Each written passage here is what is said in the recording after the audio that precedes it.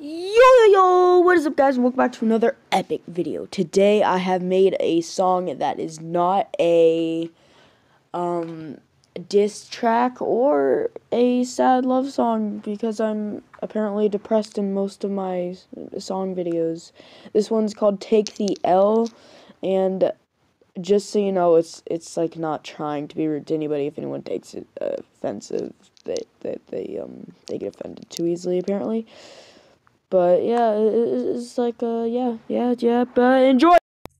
I play video games for fun, not as a job. I'm so MLG, bro. I'm a freaking pro. I play Call of Duty too. I read all the news like you. I know I'm your favorite, but why you hating, dude?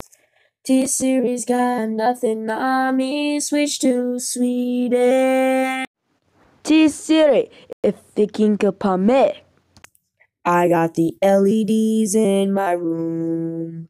I got that HD flat screen too. I got that Gucci watch, Gucci watch.